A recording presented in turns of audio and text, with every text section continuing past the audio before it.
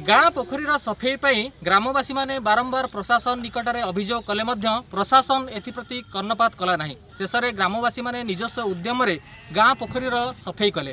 ଆମେ କହୁଛୁ କଣ୍ଟାପଡ଼ା ବ୍ଲକ ନାହାଳପୁର ଗ୍ରାମ ପଞ୍ଚାୟତର ଠାକୁର ପୋଖରୀର କଥା କହୁଛୁ ଆମେ ନିଶ୍ଚିତ ଭାବେ ଆଲୋଚନା କରିବା ଗ୍ରାମବାସୀଙ୍କର ଗୋଟେ ଅଭିଯୋଗ ଅଛି ଯେ ନିଶ୍ଚିତ ଭାବରେ ତାଙ୍କୁ ଗ୍ରାମ ପୋଖରୀ ସଫେଇ କରିବା ପରେ ବହୁ ରାଜନୈତିକ ଏବଂ ପ୍ରଶାସନିକ ଆକ୍ରୋଶର ଶିକାର ହେବାକୁ ପଡ଼ୁଛି। ତେବେ କ'ଣ ରହୁଛି ପ୍ରଶାସନ ବା ରାଜନୈତିକ ଆକ୍ରୋଶ ସେ ସମ୍ପର୍କରେ ବିଶେଷ ଭାବେ ଆଲୋଚନା କରିବା ଆମ ସହିତ ଅଛନ୍ତି ଗ୍ରାମବାସୀମାନେ। ଆସନ୍ତୁ ଗ୍ରାମବାସୀଙ୍କ ସହିତ ଆଲୋଚନା କରିବା। ଆଜ୍ଞା ଆପଣଙ୍କ ଗାଁରେ ତ ପୋଖରୀ ଥିଲା। ଆପଣ ସରକାରଙ୍କ ପାଖରେ ବାରମ୍ବାର ଦାବି କରିବା ପରେ ମଧ୍ୟ ପ୍ରଶାସନ ଶୁଣୁନଥିଲା। ଶେଷରେ ଆପଣମାନେ ଏକାଠି ହୋଇକରି ପୋଖରୀ ସଫା କଲେ। ଏବେ କ'ଣ ରାଜନୈତିକ ଏବଂ ପ୍ରଶାସନିକ ଆକ୍ରୋଶ ଆପଣଙ୍କୁ ଆସୁଛି?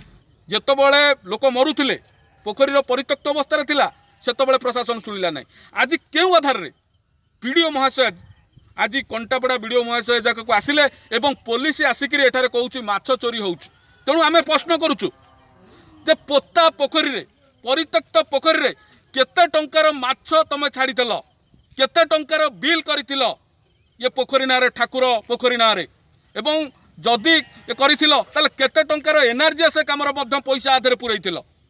ଆଜି ସାଧାରଣ ଲୋକଙ୍କର ଯେତେବେଳେ ଅସୁବିଧା ହେଲା ତୁମେ ରହିଲ ନାହିଁ। ଆଜି ସାଧାରଣ ଲୋକ ନିଜର ତୁଣ୍ଡ ଝାଳ ମୁଣ୍ଡରେ ମାରିକିରି ପଇସା ଆଦାୟ କରିକିରି ଆଜି ପୋଖରୀର ସଫା କଲେ ସ୍ୱଚ୍ଛତା ଆଣିଲେ ତାପର ପକ୍ଷରେ ତମେ କହୁଛ ଯେ ଏଠି ମାଛ ଚୋରି ହେଉଛି। ତେଣୁ ଆମେ ପ୍ରଶ୍ନ ଉଠାଉଛୁ ମାଛ କେତେ ଟଙ୍କାର ମାଛ ଏଠି ତମେ ଛାଡ଼ିଥିଲ କେତେ ଟଙ୍କା ଏ ଠାକୁର ପୋଖରୀ ନାଁରେ ତମେ ହଡ଼ପ କରିଛ?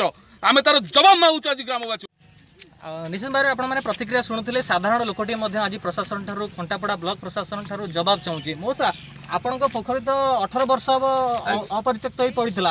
ଏବେ ଆପଣମାନେ ସମସ୍ତେ ମିଶି ସଫା କଲେ। ଏବେ ଆପଣମାନଙ୍କୁ ପ୍ରଶାସନିକ ବା ରାଜନୈତିକ ବ୍ୟକ୍ତିମାନେ କ'ଣ କହୁଛନ୍ତି?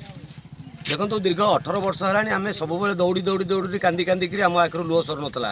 ସାପ ବିଷଠୁ ଆରମ୍ଭ କରିକି ଏଇଟା ଜଙ୍ଗଲ ପରିଣତ ହେଇଥିଲା। ଆମେ ଏହାକୁ ଯେତେ ପ୍ରକାର ସ୍କୁଲଠୁ ଆରମ୍ଭ କରି ପ୍ରଶାସନ ପାଖରେ ଆପତ୍ତିକୁ ଅଭିଯୋଗ କଲୁ କଲେକ୍ଟର ପର୍ଯ୍ୟନ୍ତ ବିଧାୟକଙ୍କ ପର୍ଯ୍ୟନ୍ତ ସବୁଠି କଲା ପରେ ମଧ୍ୟ କେଉଁଠି ସୁଫଳ ଆମକୁ ମିଳିଲା ନାହିଁ ପରବର୍ତ୍ତୀ ସମୟରେ ଦେଖାଯାଉଛି ଯେ କିଛି ପ୍ରଶାସନିକ ଲୋକ ମାନେ ଆମର ଯେଉଁ ରାଜନୈତିକ ଲୋକ ଆମ ଉପରେ ଚାପ ପକାଉଛନ୍ତି ଯଥା ବିଡ଼ିଓ ଆସି ଏଠି ଆମକୁ କହୁଛନ୍ତି ଯେ ଏଠି ମାଛ ଚୋରି ହେଉଛି। ଅୟୋ ଆମେ ଲକ୍ଷ ଲକ୍ଷ ଟଙ୍କା ଖର୍ଚ୍ଚ କରିକି ପାଣିରେ ବୁଡ଼ି ବୁଡ଼ିକିରି ସଫା କଲୁ ସାବାସୀ ପାଇବା ବିନିମୟରେ ଚୋରର ଆଖ୍ୟା ପାଇଲୁ। ବିଡ଼ିଓଙ୍କୁ ଏଠି ଚୋରି করে ହେଉଛି ବୋଲି ପଠେଇଥିଲା କିଏ? ଥାନାରେ ମଧ୍ୟ ଆମ ବିରୁଦ୍ଧରେ ଅଭିଯୋଗ ହେଉଛି। ଆମେ ଯଦି ପିଲାମାନେ ମୋର ଏଠି ବସିକି ଭୋଜି ଭଜା କରୁଛନ୍ତି କି ବସୁଛନ୍ତି ବୋଧେ ମାଛ ଧରି ନେବେ କି? ରାତିରେ ପୋଲିସ ମଧ୍ୟ ଆସି ଜଗୁଆଳି ପଠାଉଛି। ତେଣୁ ସେ ପଠେଇବା ଲୋକ କିଏ? ଆଉ ପୋଲିସ କାହିଁ ଜଗୁଛି? କେଉଁ ଆଧାରରେ ଜଗୁଛି?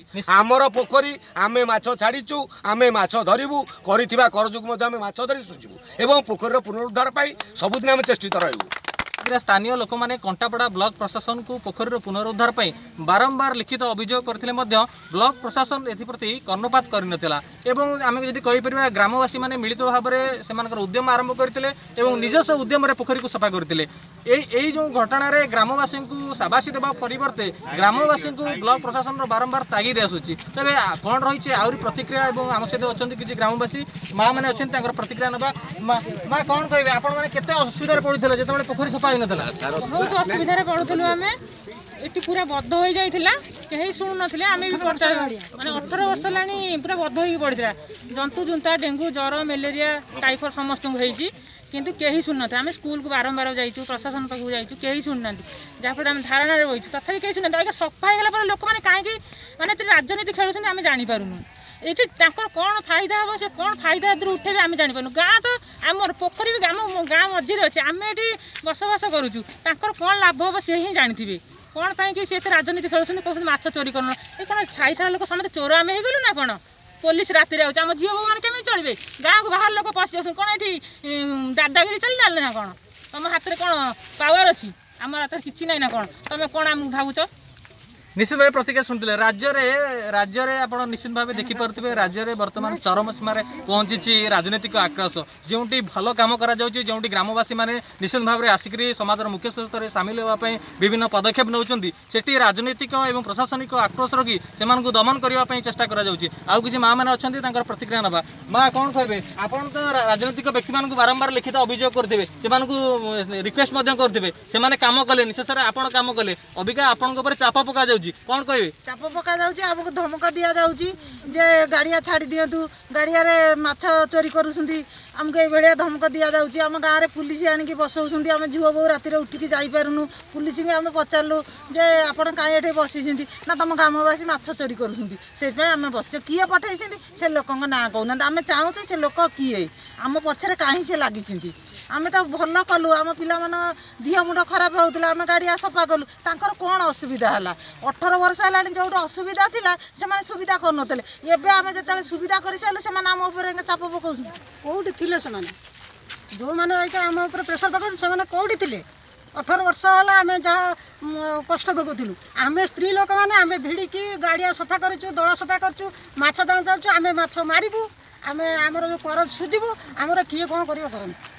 ଆମେ ସମସ୍ତଙ୍କୁ ଜଣାଇଛୁ ଆପଣମାନେ ଗ୍ରାମବାସୀଙ୍କ ପ୍ରତିକ୍ରିୟା ଶୁଣୁଥିଲେ ଦୀର୍ଘ ଅଠର ବର୍ଷ ହେବ ଗ୍ରାମରେ ଏହି ସମସ୍ୟା ଲାଗି ରହିଥିଲା ଏବଂ ଯେଉଁଥିପାଇଁ ଗ୍ରାମବାସୀମାନେ ନାହିଁ ନଥିବା ଅସୁବିଧାର ସମ୍ମୁଖୀନ ହେଉଥିଲେ ଏପରିକି ସାପ ଜନ୍ତୁଜନ୍ତା ମାନେ ମାନେ ମଧ୍ୟ ଗ୍ରାମବାସୀଙ୍କୁ ଆକ୍ରମଣ କରୁଥିଲେ। ତେବେ ଏହାକୁ ଏହି ସମସ୍ୟାକୁ ଦୂର କରିବା ପାଇଁ ଗ୍ରାମବାସୀମାନେ ଅଣ୍ଟା ଭିଡ଼ିଲେ ଏବଂ ହାତରେ ହାତ ମିଳିଲେ ଏବଂ ନିଜସ୍ୱ ପାଣ୍ଠିରୁ ସେମାନେ ଏହି ଗ୍ରାମ୍ୟ ପୋଖରୀକୁ ସଫେଇ କଲେ ଏବଂ ତାହାପରେ ଆମେ ଯଦି ଦେଖିପାରିବା ବ୍ଲକ ପ୍ରଶାସନ ବା ସ୍ଥାନୀୟ ରାଜନୈତିକ ବ୍ୟକ୍ତିଙ୍କର ଆକ୍ରୋଶର ଏମାନେ ଶିକାର ହେଉଛନ୍ତି। ଏଠାରେ ଭଲ କାମ କରିବାକୁ ଗ୍ରାମବାସୀମାନେ ଆଗେଇ ଆସିଲେ ମଧ୍ୟ ତାଙ୍କୁ ବିଭିନ୍ନ ରାଜନୈତିକ ଆକ୍ରୋଶର ଶିକାର ହେବାକୁ ପଡୁଛି।